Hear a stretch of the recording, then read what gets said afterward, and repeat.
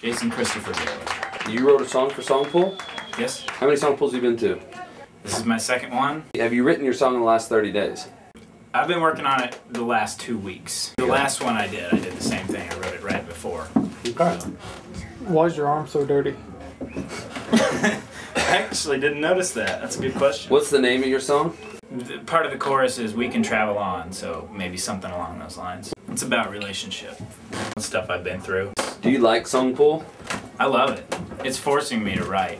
For me, it's I, I work better under pressure. Knowing that I have to deliver a song by a certain date helps me a lot. What do you think makes a great song?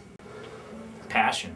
If someone can see that it's real and that you actually took the time to articulate the way you felt about life and what you wanted to express, and you can see that in the song, I think it's successful. You wrote some of these questions, and I will just get mead. What do you think this word is? Brad thought it was swamps. Could you By just the tell us if it meets the Scrummers?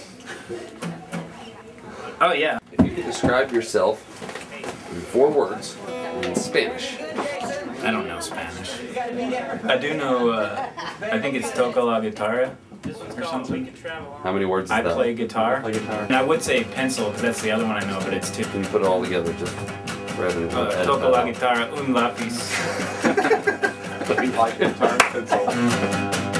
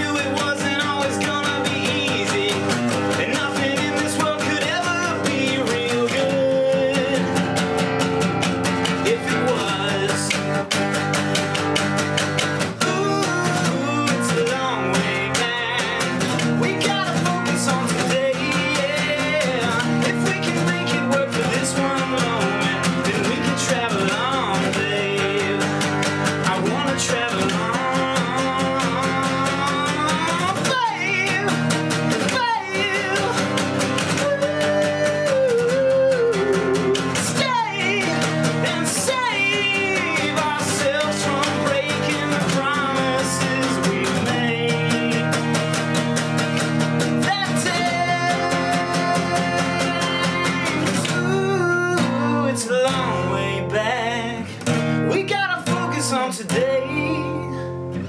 If we can make it work for this one moment, then we can travel on, babe. Do you wanna travel on?